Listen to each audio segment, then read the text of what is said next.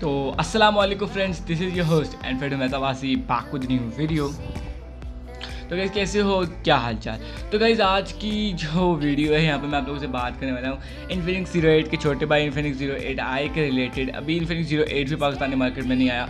और रिमेड के next month तक आएगा तो आज हम वीडियो जो इन्फिनिक्स ज़ीरो एट है, उसके छोटे भाई इन्फिनिक्स ज़ीरो एट आई के बारे में बात करने वाले हैं। फुल डिटेल में जाएँगे स्पेसिफिकेशन वाइज डिस्कस करेंगे। इन्फिनिक्स ज़ीरो एट आई है, वो थोड़ा स्पेसिफिकेशन वाइज लेस होगा इन्फिनिक्स ज़ीरो एट से, जो कि मतलब काफ़ी अच्छा फ़ोन होगा तो उसके ओवरऑल स्पेसिफिकेशन डिस्कस करते हैं। तो वीडियो शुरू करने से पहले आपसे कुछ दो बातें करना चाहता हूँ। पहली बात ऑडियो क्वालिटी के बारे में बताओ कि वीडियो की ऑडियो क्वालिटी कैसी आ रही है। कि यार, मुझे मतलब ऐसा लगता है कि वीडियो की ऑडियो क्वालिटी बहुत मैटर करती है। अगर आपकी ऑडियो आपकी ऑडियंस को सही नहीं आ रही तो फ़ायदा नहीं तो आप मुझे ज़रूर बताना कि आपको ऑडियो क्वालिटी कैसी आ रही है। सेकेंडली यार मैं आप लोगों से क्वेश्चन पूछना चाहता हूँ। वो ये है कि क्या आप चाहते हो क्या I upload videos on my second channel जो मैंने बनाया था इस पर्पज़ के लिए कि मैं लोगों को इंग्लिश में वीडियोज़ प्रोवाइड करूँ? बट तो जो थोड़े प्रॉब्लम्स हो गए थे वो ये थे कि मेरे इस चैनल के ऊपर इतनी सब्सक्राइबर बेस है ही नहीं और उस चैनल पर बनाना थोड़ा मुश्किल काम है। लेकिन फिर भी आई ट्राइड के मैं लोगों को इंग्लिश में वीडियोज़ प्रोवाइड करूँ। बट थोड़ा टाइम मैनेजमेंट इशू आ गया है, मैं अभी कॉलेज जाता हूँ, फिर मुझे आगे कोई और काम होते हैं, और फिर ये वीडियो भी काफ़ी मतलब लेट आ जाती हैं, और आजकल लेट ही वीडियोज़ आ रही हैं। मुझे ज़रूर ये बात कॉमेंट करके बताना। तो अगर चैनल भाई नहीं हो तो सब्सक्राइब कर दूँगी इस किस्म वीडियोज़ मेरे चैनल पर आती रहती हैं। और अगर बेल आइकन नहीं दबाया तो भाई सब्सक्राइब का फ़ायदा नहीं होता बेल के बगैर। वीडियो लाइक कर दो ट्वेंटी फाइव को टारगेट रखते हैं, और अगर पसंद आ रही हो तो क्लिक तो बनता है। So without wasting any time let get state into this video so first all guys हम लोगों को पता है हमेशा कितना डिस्प्ले से बात करते शुरू करते हैं। तो ये डिस्प्ले की बात करें तो आपको 6.85 इंचेस की एक आई आईपीएस पैनल वाली एलसीडी डिस्प्ले देखने को मिलती है। जहाँ पर जो रेजोल्यूशन को लगाया गया है, वो है like full H D plus यानी एटी पी पर twenty four hundred and sixty pixels पर पिक्सल्स यहाँ पर रखे गए हैं फ़ोन के अंदर और ये एक आई पी एस पैनल वाली एल सी डी डिस्प्ले है। और ये डिस्प्ले है, ठीक है? और ये डिस्प्ले जो है हमें आपको रेजोल्यूशन भी बता दिए और यहाँ पर यहाँ पर नाइन्टी हर्ट्स का रिफ्रेश रेट दिया जा रहा है ये वैसा ही रिफ्रेश रेट है जो आपको इन्फिनिक्स ज़ीरो एट के साथ देखने को मिलता है। मतलब माइंड ब्लोइंग ठीक है? माइंड ब्लोइंग यहाँ पर अगर हम लोग इसकी बैक साइड की बात करें तो मैं आप लोग को वैसे ही कैमरा डिज़ाइन में कैमरे देखने को मिलते हैं हम कॉन्फ्रेंस रेट में देखने को मिलते थे। हमें बैक साइड के ऊपर सिक्सटी फोर को कम करके फोर्टी एट कर दिया गया और फोर्टी एट के साथ आठ, दो दो यानी कि forty eight plus eight plus two and two के चार कैमरे देखने को मिल जाते हैं।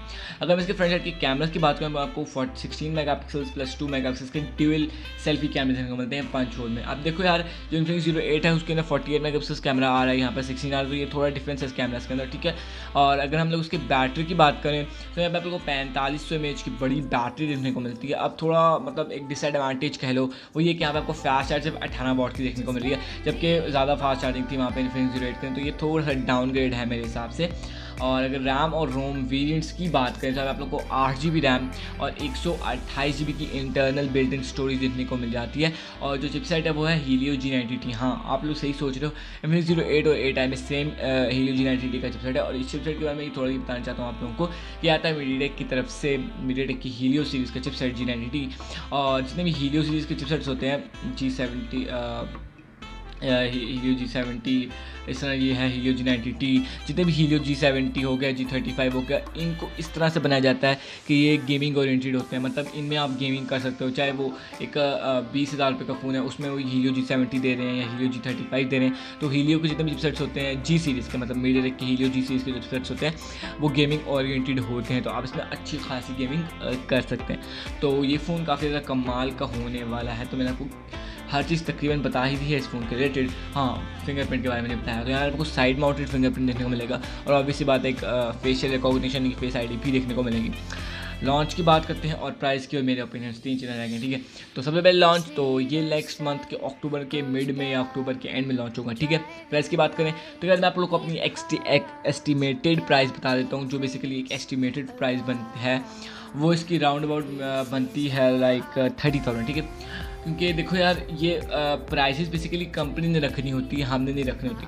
हम सिर्फ़ आपको ये बता सकते हैं कि एक्सपेक्टेड प्राइस क्या होगी। जैसे देखो यार ये डिपेंड करता है कि इन्फिनिक्स ज़ीरो एट कितने का आएगा। अब उसके प्राइस के काफ़ी र्यूमर्स चल रहे हैं, पैंतीस हज़ार मतलब छत्तीस हज़ार या अठतीस हज़ार या चालीस हज़ार, वो जितने में आएगा, उससे एक दो हज़ार कम ही इन्फिनिक्स ज़ीरो एट आई जाएगा तो ये देखना पड़ेगा क्या प्राइस होगी। तो अगर वीडियो पसंद है लाइक ठोक दो वीडियो को सब्सक्राइब कर दो चैनल को, और अगर बेल नहीं बजाए तो बेल भी बजा दो। मैं आपसे मिलता हूँ किसी और नेक्स्ट वीडियो में तो मुझे तो ज़्यादा नेक्स्ट वीडियो के लिए, अल्लाह हाफिज़। scare me.